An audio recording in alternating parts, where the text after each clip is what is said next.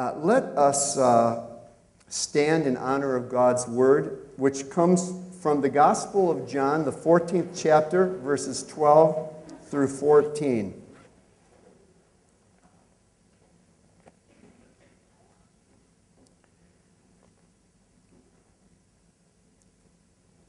I tell you the truth. Anyone who has faith in me will do what I have been doing. He will do even greater things than these, because I am going to the Father.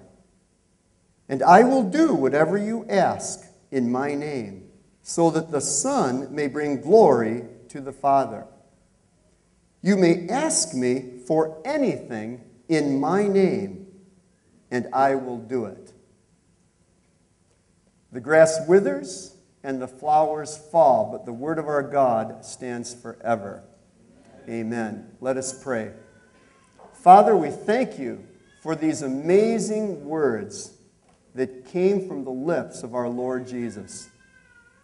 And Lord, they are important words for us as your church.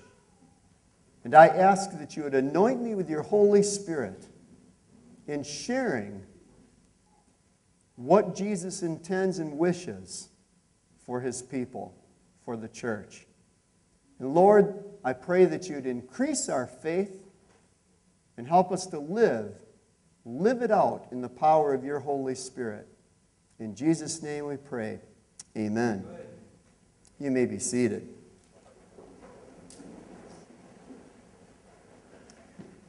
As I mentioned, it was a highlight for us to finally once again be gathered together as a family. Family reunions.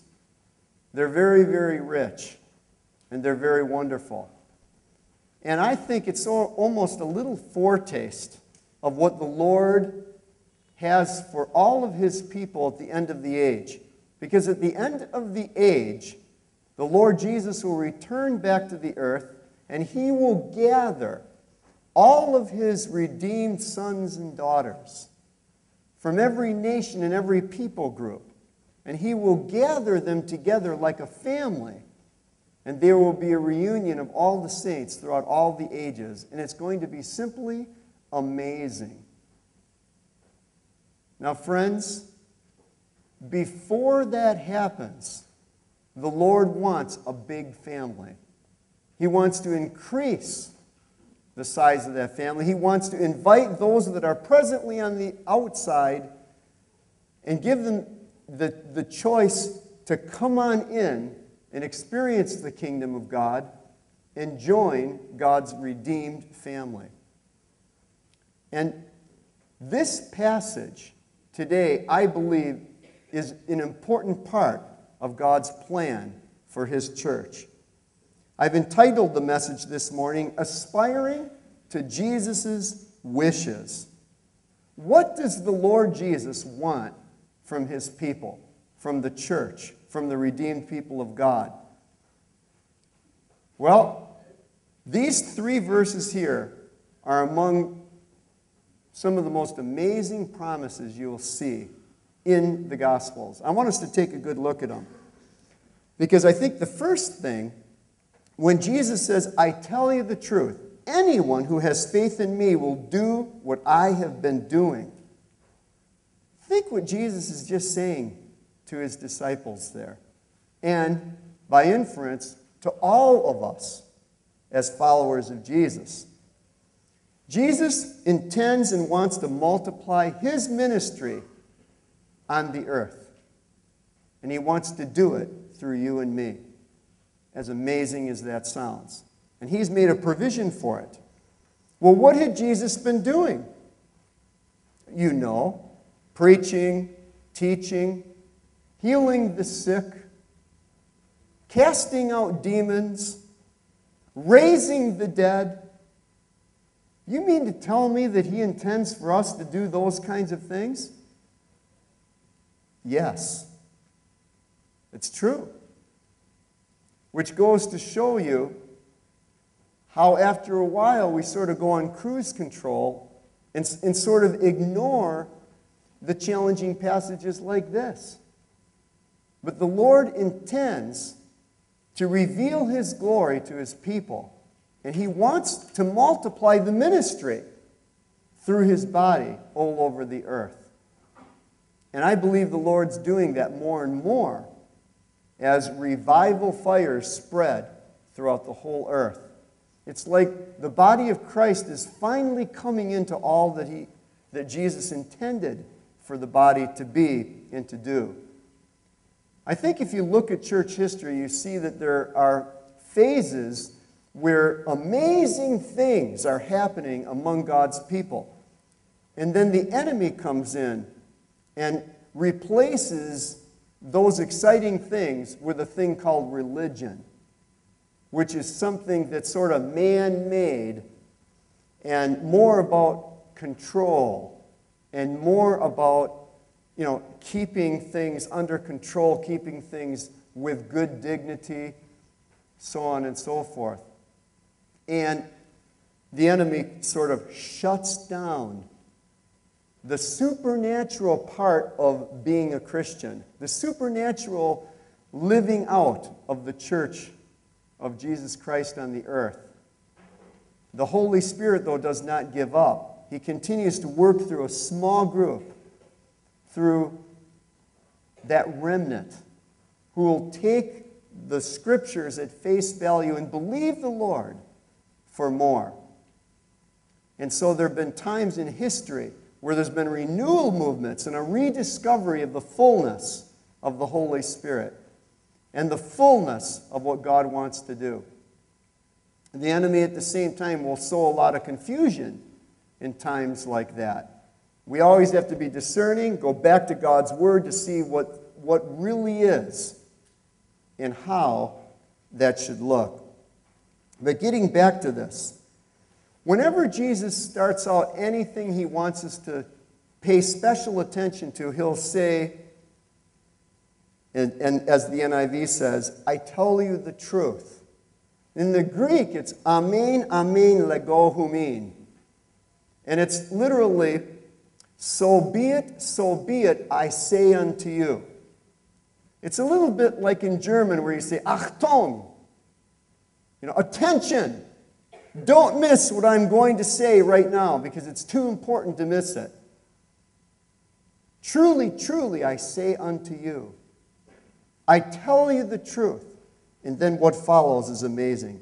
Anyone who has faith in me will do what I have been doing. He will do even greater things than these because I am going to the Father. But we'll get to that in a minute.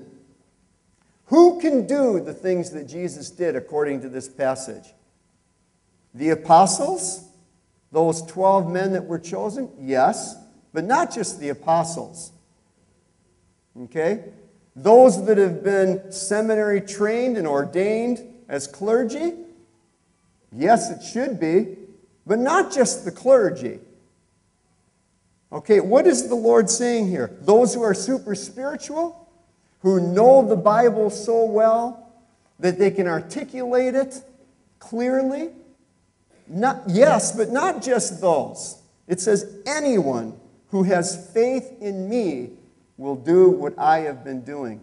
Any follower of Jesus as Lord and Messiah who looks to him in faith and trusts his word and is filled with His Holy Spirit will do the things that Jesus did. This is one of the most radical passages in the gospel. the reason it's radical is because so few of us are living it out. It's not because it's not true, it's because we've lacked the faith to step into it most of the time. What can they do? The things that Jesus did in his earthly ministry those three and a half years. What specific kinds of things did Jesus do? If we look to a couple of summary passages, Mark 1 14 through 15. After John, who would be John the Baptist, was put in prison, Jesus went into Galilee proclaiming the good news of God. The time has come, he said the kingdom of God is near. Repent and believe the good news. The first thing we can all do is proclaim the truth of God's kingdom. That God indeed reigns, and that his reign and rule is coming to the earth. We do this through teaching, through preaching, through song, through dance. There's a lot of ways to proclaim God's kingdom. But it doesn't just stop there. Because, you know, there are kingdom claims made by the Lord Jesus which are astounding. And he did more than simply teach and preach on the kingdom of God, he also demonstrated its reality through signs and wonders and miracles. Matthew 4 23 through 25, another summary statement. Jesus went throughout Galilee, teaching in their synagogues, preaching the good news of the kingdom, and healing every disease and sickness among the people. News about him spread all over Syria. Did you ever see that before? News about Jesus spread all over Syria. Well, what did the Syrians know about God? They weren't part of God's people, but the news spread. And friends, the news isn't going to spread if just a man is walking around preaching and teaching. Here's why the news spread He healed every disease and sickness among the people. News about him spread all over Syria, and people brought to him all who were ill with various diseases, those suffering severe pain, and the demon possessed. Literally in the Greek, the demonized. Those that were so under the influence of the devil, that were so filled with demons, that they had no control over their thinking and their behavior. Are there demonized people today? Most certainly are, all over in every culture. Those having seizures and the paralyzed, and he healed them. You see, Jesus didn't just say the kingdom of God is here, he said the kingdom of God is here, and then he confirmed it by doing something about people's bondage, setting people free from demons, and healing just about every condition imaginable. How did he do that? In the power of the Holy Spirit. And it was a way of saying, yes, the kingdom's coming. The kingdom's here in the person and presence of the Lord Jesus. And it's breaking into this present reality and it's changing everything. The result? Large crowds from Galilee the Decapolis. Now, again, the Decapolis is not a part of uh, God's people. Jerusalem, Judea, and the region across the Jordan followed him. Yes, people were beginning to follow him from all over the region. Proclamation and demonstration. Proclaiming the truth of God's word and then confirming it in the power of the Holy Spirit by signs, wonders, and miracles. That's the ministry of Jesus in a nutshell. It's not one or the other, it's both, friends. And the early church experienced this same phenomenon. And throughout history, there have been remnants that have continued to operate in the fullness of Jesus' ministry. And more and more, the body of Christ is reawakening to the fullness and stepping into more of the supernatural. And this is good and this is needed. Praise the Lord for that. You see, signs and wonders confirm the truth of God's word. It's like a stamp of approval. It's like a way of saying, yes, we can back the truth of what we proclaim. And we don't back it, it's God Himself that backs it. But it only happens if we, as His people, will step in faith and begin to pray for healing and look to God to step in and do what He wants to do through His people. And that takes faith. And that also means, in a sense, saying no to the man made limits that we've put on the Lord and that we've put on ourselves because of wrong understandings. Jesus was powerful in word and in deed. And the early church was likewise powerful in word and deed. And God wants the English language congregation of the NEC here in Bahrain to be powerful in word and deed, friends.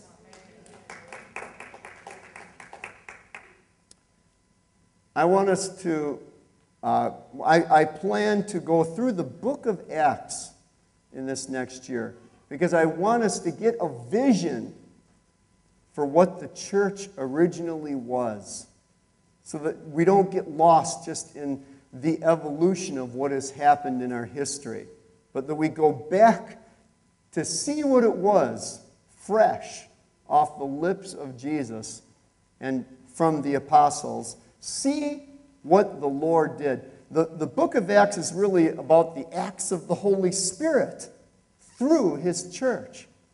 And so I'm, I'm excited uh, about what's coming. Friends, the world needs to see the reality of God's reign and rule. They need to see that God is who Jesus says he is the Son of God, the Son of Man, the Savior of the world, the King of glory. Great claims and he wants to show it as he stretches out his arm powerfully in signs, wonders, and miracles through his people. That's what he wants to do. So, first and foremost, Jesus wants to multiply his ministry through his body, the church.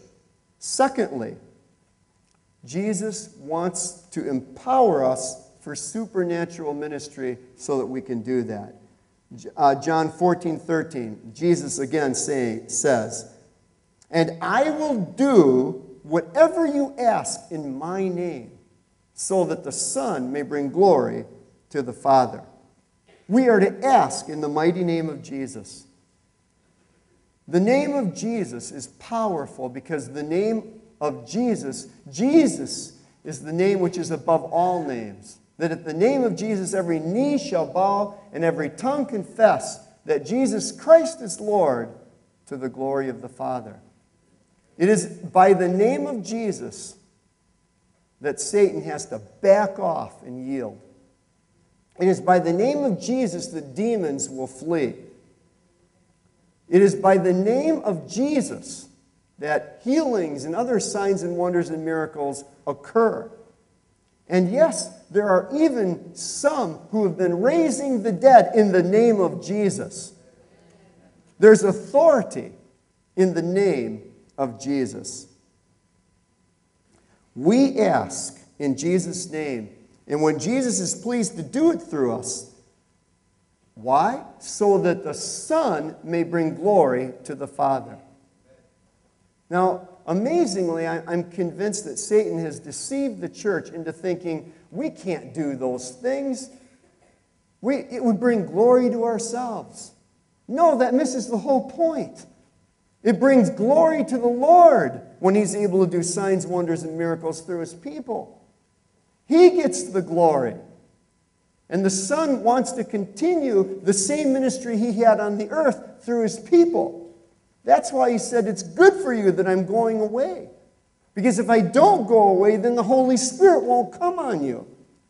And I want the Holy Spirit to come on you so that you have some of Jesus in you, that you'll do the same things I did. And I'm going to be up there interceding on your behalf. It's good that I'm going away, he says. Jesus lived his whole life to glorify God the Father. And he still wants to glorify God the Father by carrying on the same ministry through his body, the church, today. And he does that through his Holy Spirit working in the church. He wants us to bear lots of fruit. He, he, he doesn't want us to think small and be satisfied with little.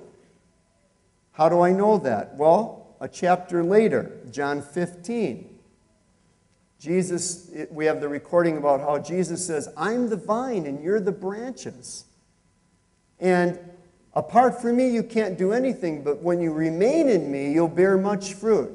I am the vine, you are the branches. If a man remains in me and I in him, he will bear much fruit. Apart from me, you can do nothing. Now, I, I want us to be honest.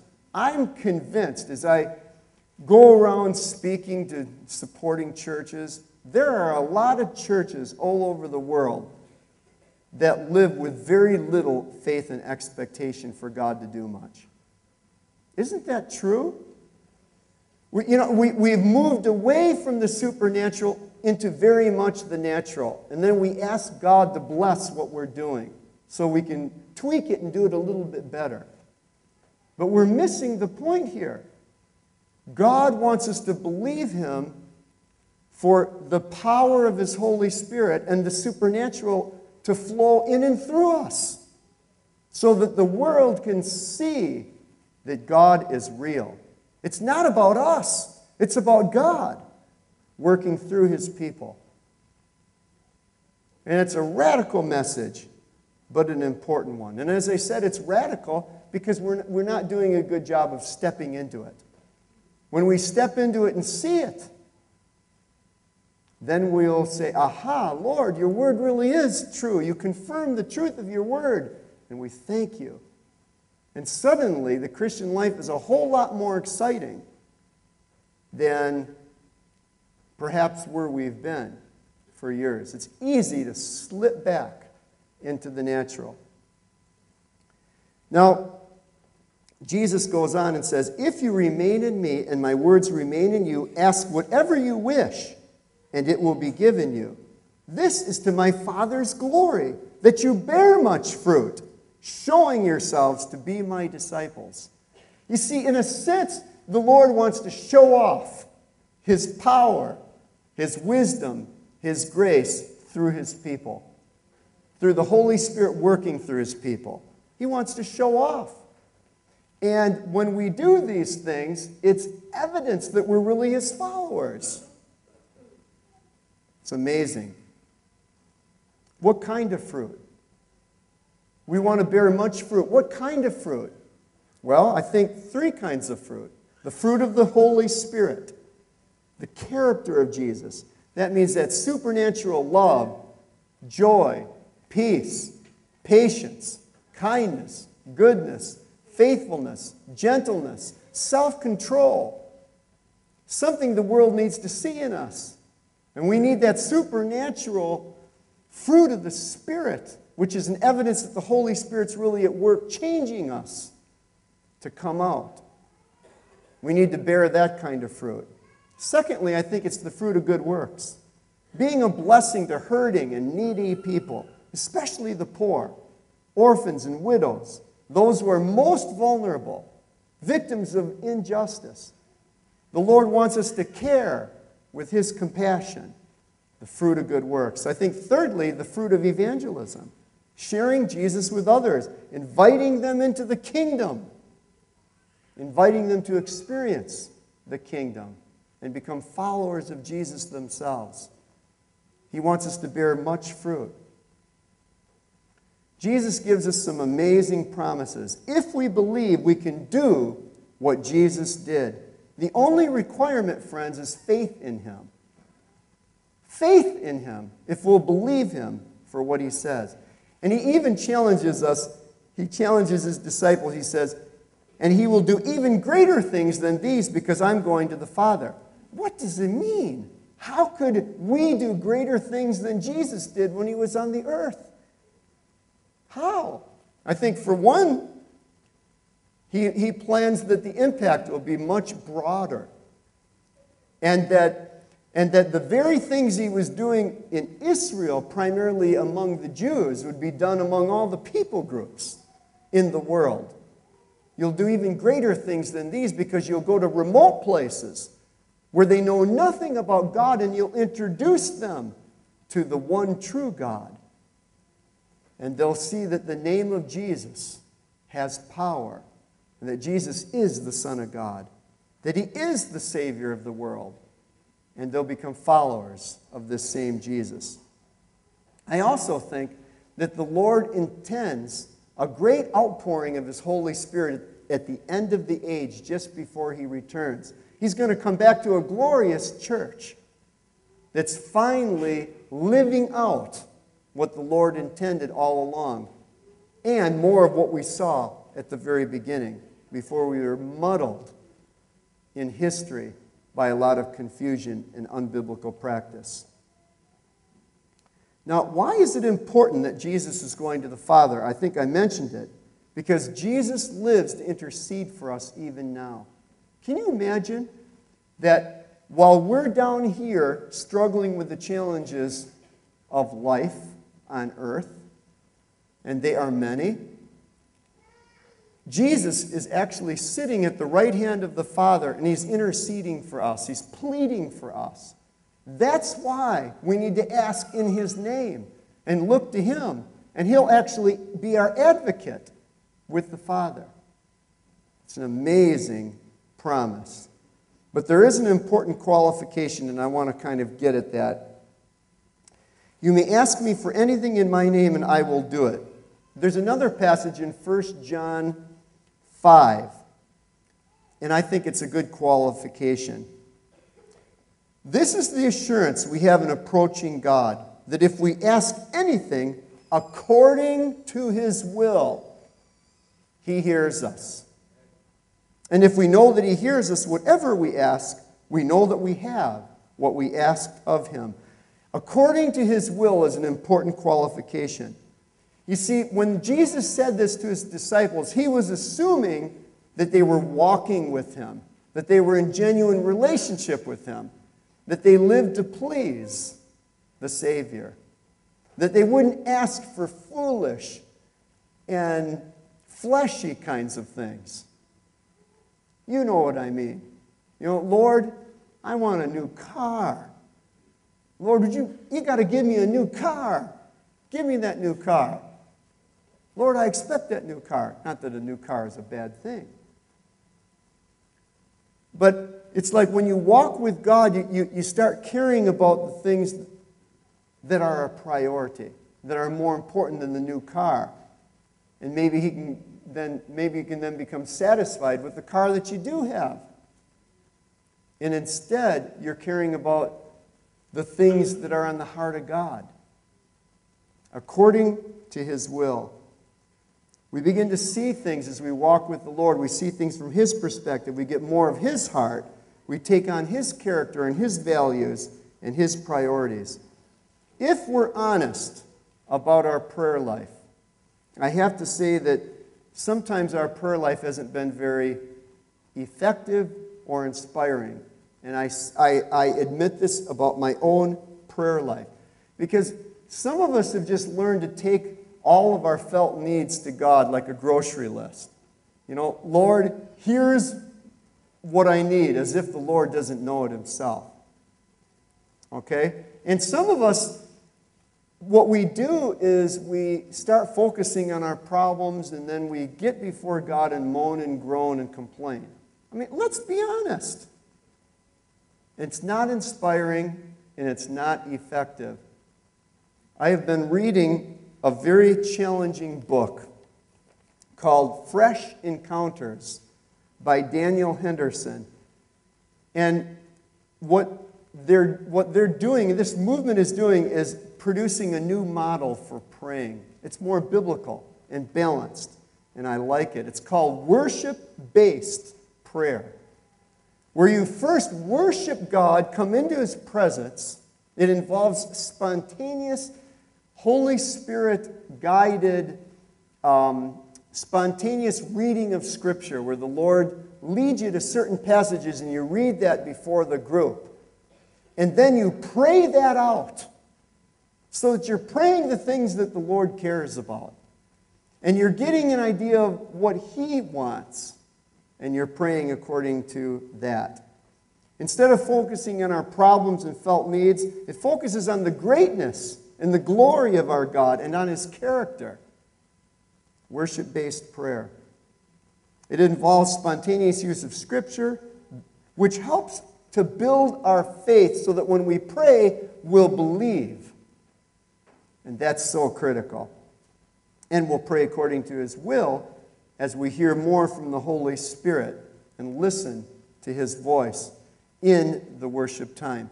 Think how many times in the book of Acts where the church is gathered in prayer, corporate prayer, and they're praying together. And it's in that context that the Lord gives strategy. That the Lord says, okay, I want you to, to uh, lay your hands on Paul and Barnabas and send them out. Well, they didn't have any idea that they were going to do that. They were led by the Holy Spirit in the context of the worship to do that. So they laid their hands on Paul and Barnabas, and they became powerful missionaries to, in the region. And so on and so forth. That's just one example.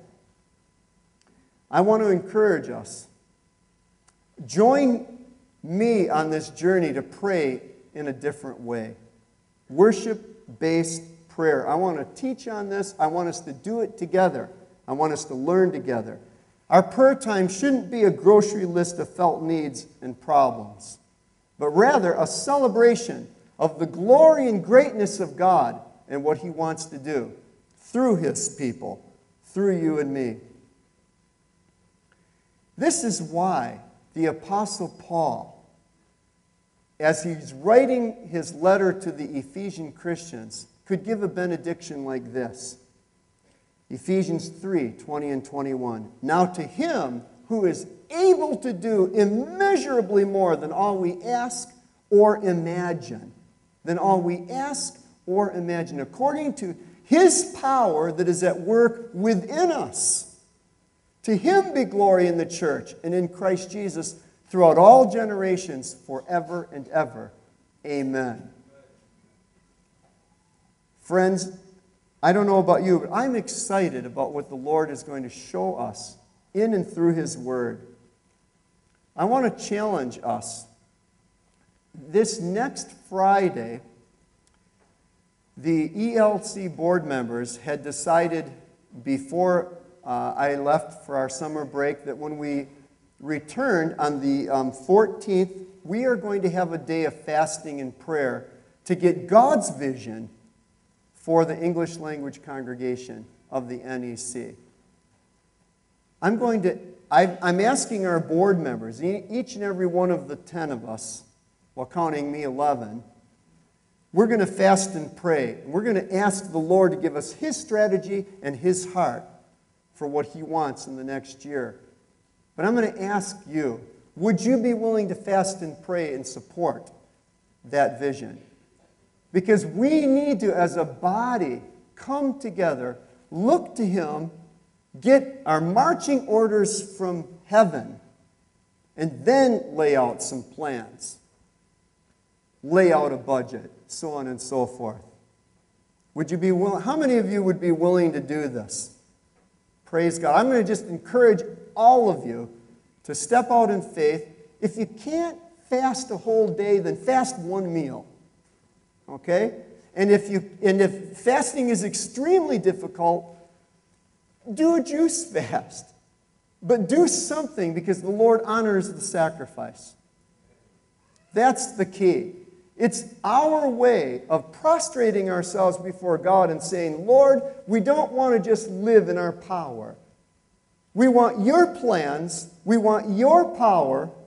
We need you. And so we'll go without food and we'll suffer a little bit in order to sacrifice to receive more from you. I'm going to ask you to pray for me as your pastor to have a special anointing of the Holy Spirit as we go through the book of Acts in this next year. That the Lord will show all He wants us to see so that we can be equipped as His people and He can use us in a more powerful way in the future. Amen? Let us pray. Heavenly Father, we give you thanks and praise for these amazing words of Jesus. Lord, they're amazing. But what is more amazing is when we live this out. These are the aspiring words of Jesus that He has for us, the body of Christ, God's people, followers of Jesus. Lord, I pray that you'd increase our faith and help us to believe and step out in faith, looking to you for the kind of power that is being reflected in these words. That we would do the things that Jesus did, that the world may know and believe that we have been sent by you. We want to see more of Jesus in and through us. We want to see His Holy Spirit powerfully move among us as His people. And we ask for that. We pray that your kingdom would come, O Lord, that your will would be done in and through us in this upcoming year. Lord, help us to be more of what you intended from the very beginning. That when people are among us, they'll say, Surely God is among you. May Jesus be glorified. May the Father be glorified in and through us in the upcoming year. In Jesus' name we pray. Amen.